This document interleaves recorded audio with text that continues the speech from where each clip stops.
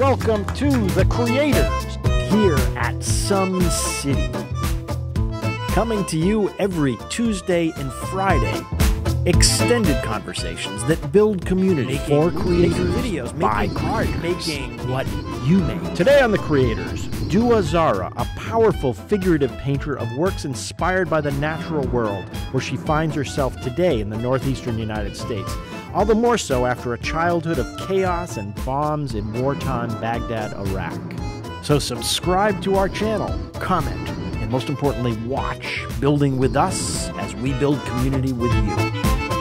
Hi, folks. Welcome back to The Creators. Uh, we are coming to you as usual from beautiful downtown Somersworth in the SomeCity studios. With us today, our creator uh, is uh, an artist extraordinaire uh, by the name of Duaa Zahra. So, Duaa, welcome to The Creators. Thank you. Thank you for having me.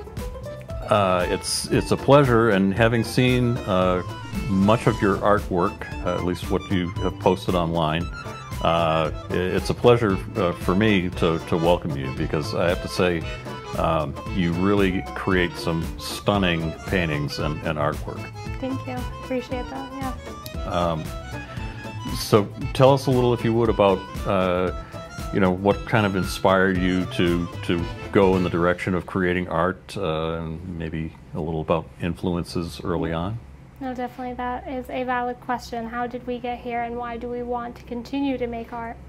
Um, for me, it started on when I was really young. You know, um, it's almost as if art was the first thing that I've remembered and was familiar with um, as a process, and um, the visual aspect of it is what spoke to me. You know, there are certain things that we can't really communicate via words. Um, and through visuals, there's so much that can be portrayed um, that speaks to the emotion, to the valid emotion of human experience.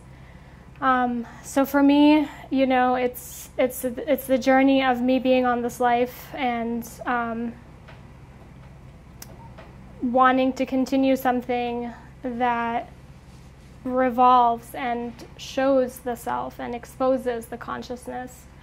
Um, you know, influences were nature, um, but at the same time were war because I grew up in, in Baghdad, Iraq, and I was born into a war and lived through a war in 2003. Um, and at that time I was 10 years old. Um, so the painting aspect gave me freedom and power and connection. Um, and it also gave me meditation, you know, to, to be able to look at my object and um, learn about it and discover it. And in that process, I'm discovering myself and why I'm making the choices I'm making on, on paper, on canvas, um, or sometimes even on words, you know, or in words, you know, writing poetry and, and exploring that as well onto my canvas. I've made some pieces where I've painted poems, you know. Um, mm. So it's it's a complicated process, but it's just the process of discovery, discovering the self, and supporting um, the idea of individuality and bringing something for uh, from inside out, you know. Well, I want to talk a little bit about a little bit more about you know visual communication uh, in general. But first, you mentioned that you're originally from uh, uh, Baghdad, Iraq, mm-hmm. and uh, I think that I've mentioned to you that uh, I have actually spent a little bit of time there. Um, you know, I was there in, in uh, 2000 twice, actually, with a group called Voices in the Wilderness, um, and we were trying to raise awareness back here in the States about the economic sanctions, which were doing a lot of harm, as of course you're well aware, uh, uh, to the Iraqi civilian population. And so uh, the, that there's a little added um, feeling of amazement that now I, am sitting here with someone who was uh, let's see, so you would have been seven years old in 2000? Is that yeah, right? yeah, about. Yeah, mm-hmm. yeah there in Iraq. Um, I was, yeah. Do you have many memories from from then? And if you absolutely. do, I mean, you, yeah, do you mind talking about no, them? absolutely. I mean, my first memory was or connection with art was actually pre-war. Um, you know, I just enjoyed um, the silence of the process and painting or drawing something and, and displaying it and the, seeing the enjoyment of family or friends who see that and appreciate it. Um, but I grew further into my art practice when the war happened in 2003.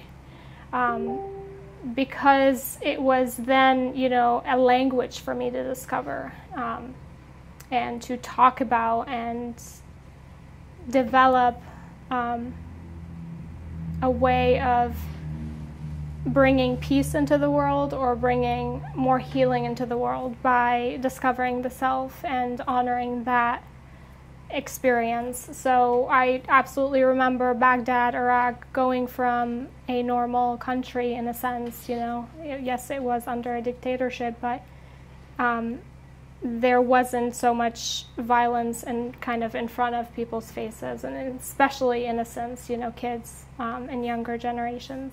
So I was exposed to a lot of that, unfortunately, and there are many people out there who have seen worse, you know, and have lost loved ones and um, truly had shattering moments. I was lucky. I feel like I was privileged to have my family um, all and whole um, throughout the war. I think we've lived there for four years before deciding that this was not safe and we mm-hmm. needed to um, escape.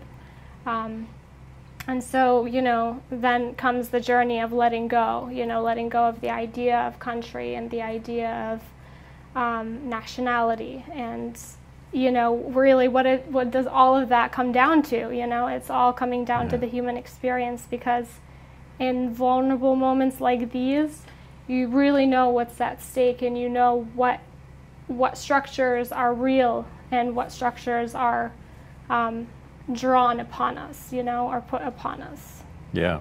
And the sort of inevitable. I mean, it's difficult for a lot of people to leave home even under good circumstances, but then to have to leave your home under, you know, such stressful, I mean, stressful is an understatement, mm-hmm. uh, under those kind of circumstances has to really add to that sort of anxiety of having to go away from what's familiar to you. Yes, absolutely. The unknown, putting yourself in in the most uncomfortable situation, you know. Yeah. And also being open, being completely open to what experience that may come next. Um, you know, and for me, like I said, I've been super privileged to have my family all well and alive, and to be able to um, have art to return to, you know, and and um, use as a tool of truly healing, you know, um, healing trauma, healing and expressing years worth of um, suppression, you know, cultural suppression or religious suppression.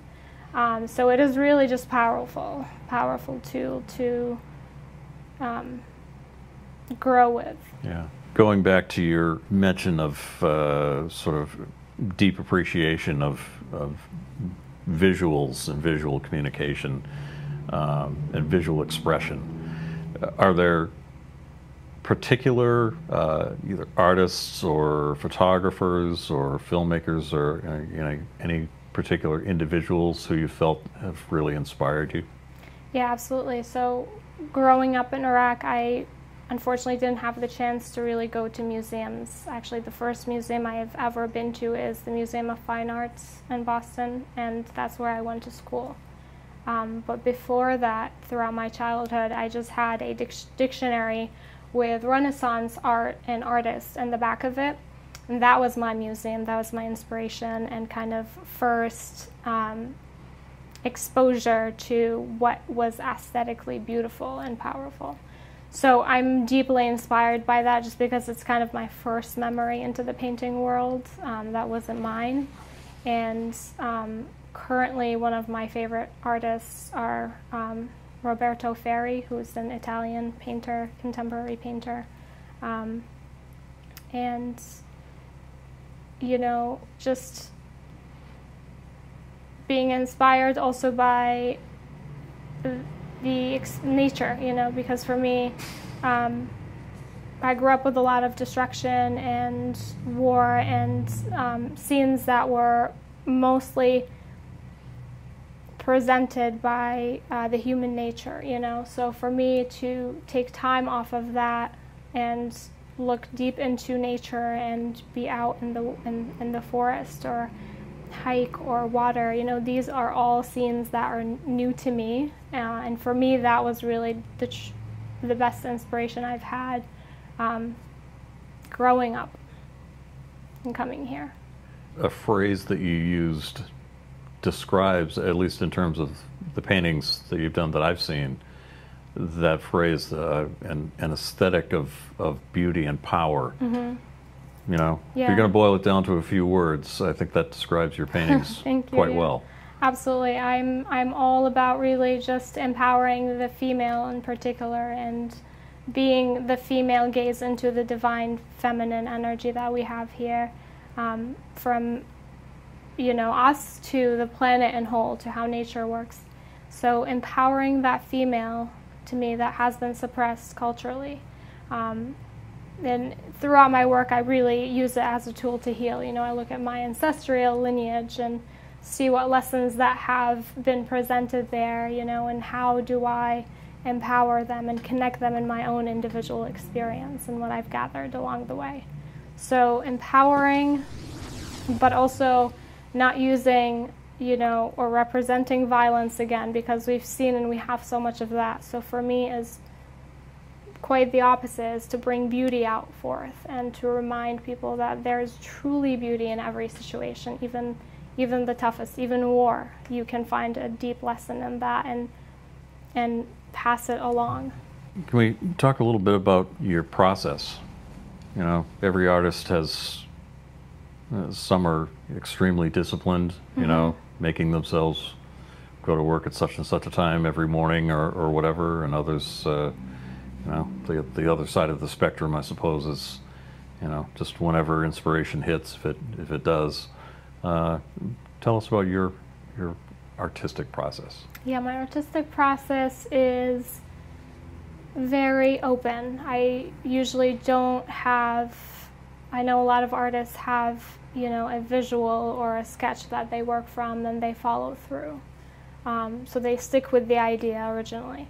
For me, my process is quite different. I, I let the object or subject reveal itself to me, and I change a lot throughout my painting. I take things off or I bring things forward and then cover them. So there's a lot of room for actual self discovery outside or in between, and those playful moments. Um, and the final result is always just, you know, a, a lesson or, or, something that I've learned um, about myself that I didn't know when I started the painting.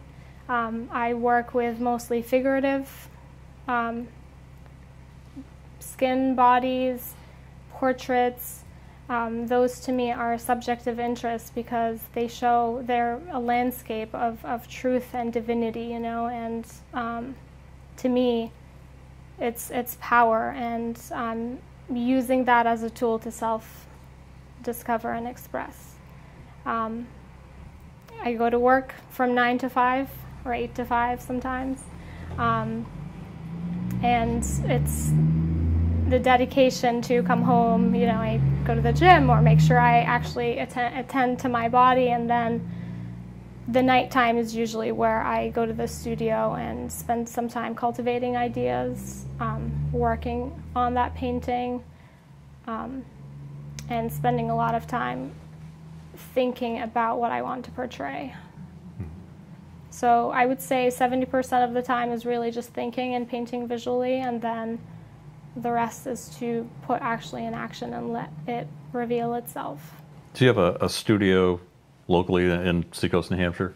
Yeah, I actually work um, off Rye, in New Hampshire at the moment. I have a beautiful um, little studio, and I've been working on canvases that are my biggest so far, you know, biggest in size yet. So, um, exploring a lot of new things and combining a lot of new ideas that I've had. Um, That's a nice location. yeah, it's it's beautiful. Right, I mean, yeah. it's absolutely beautiful. Yeah. yeah. So. Do you have much of a sense of uh, sort of community among artists uh, here in this area at, at this point, or is that something that maybe still is in process? It is definitely in process. It's you know I've been um, I'm, I'm new to the area, so for me to find artists and be out there and seek local events has not been um, you know at the top of my list mainly because the work I've been making is or the, the work that I've had has been sold. So my issue is really making more work, you know, and then bringing that work out and meeting um, local artists and having the conversation or the critique um, together, you know. So at the moment, I'm focused on actually putting time into my studio and making work. Um, and I'm hopeful by next year, you know, I'll be able to make an, an exhibit with other artists that I share the same idea with or concept or philosophy and you know have that conversation out in the public and into the community and start talking about it Yeah. Well, that's great. Uh, I I hope uh, uh, to see that happen uh, as well. Yeah. Is there a particular, you know, looking at your work, and I know you, you sell quite a bit of it, right? Uh, but is there a particular, maybe one particular painting um, that we could show viewers a, a photo of, and maybe a, a, a past work that uh, is your personal favorite of the work that you've done uh, for for one reason or another? And can you kind of describe maybe one of your uh, one of your works and what inspired it? Absolutely. So I think the best one I've I'm able to explore is the one I've been working on recently, which is um, a figure of a male and a female uniting and combining together in a beautiful motion.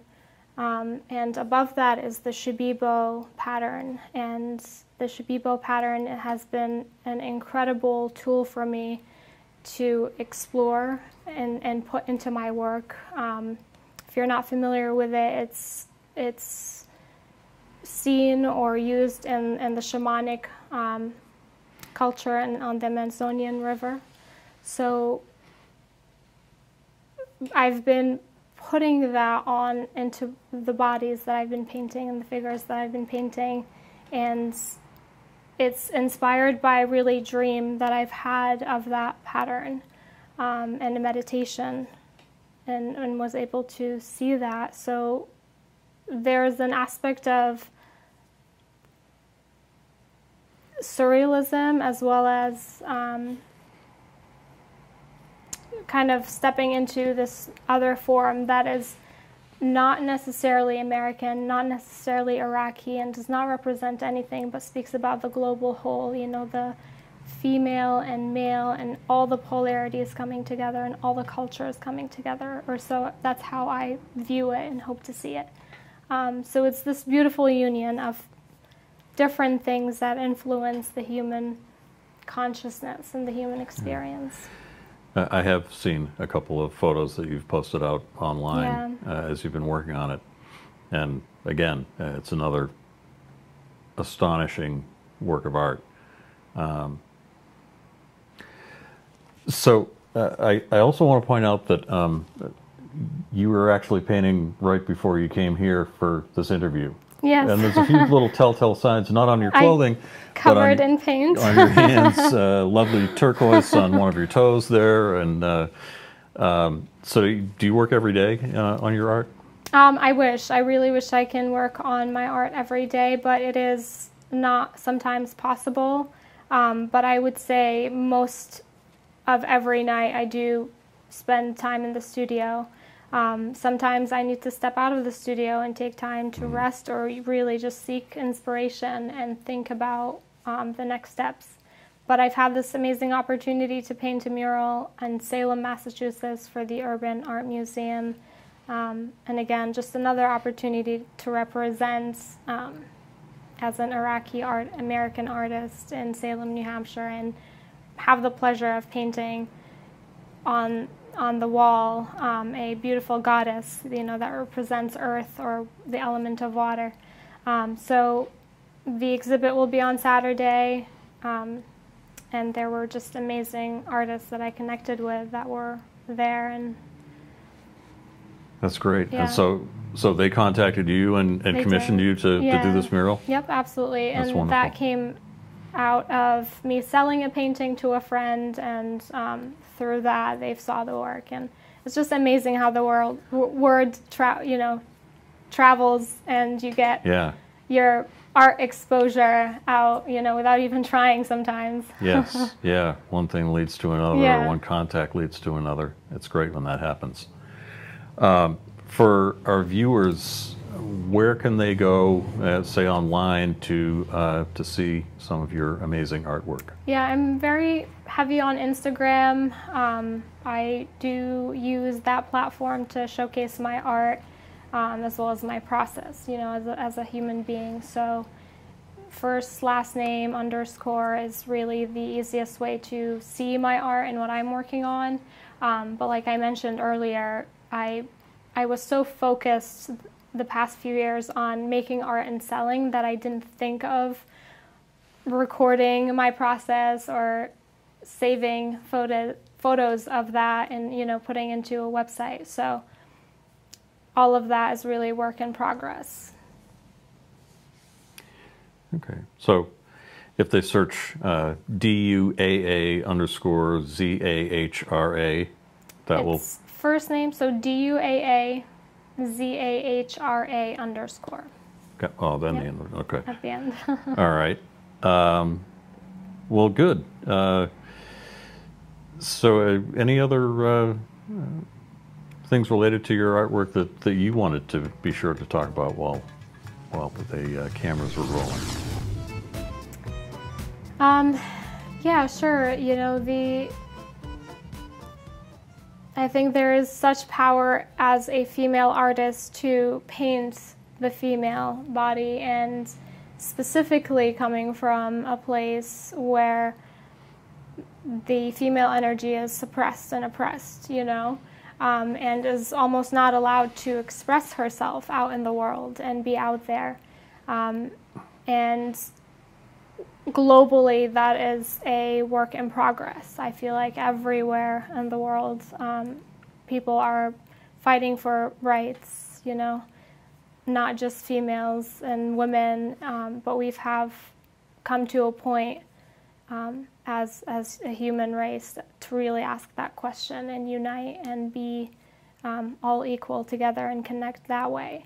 So that is really the main focus in my art and in my work, and to be able to provide that visually, so the person or the viewer can can gather and connect to my work um, and relate to that experience. Excellent.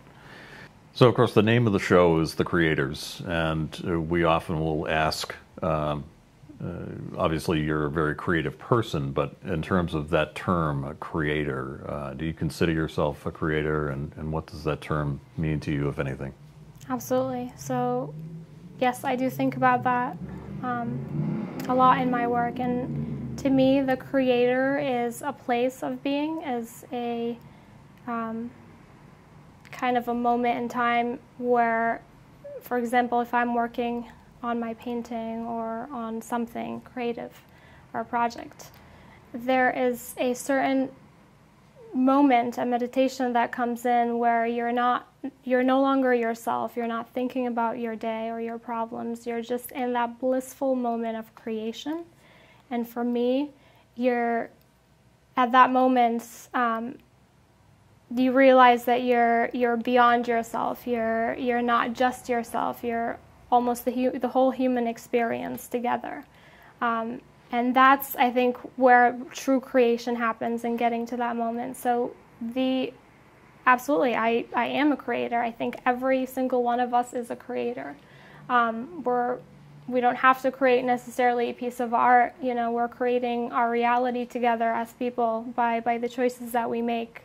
Um, so it is really a deep term, And painting on canvas is just another way of bringing forth that, you know, and making a mark and putting it out in the in the real world for people to view. But absolutely, it's a moment and a place and time that we can all get get to.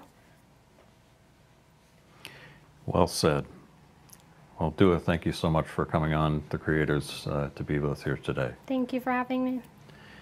Folks, if you uh, uh, enjoy this show, uh, please give us a thumbs up. Please subscribe if you have not already.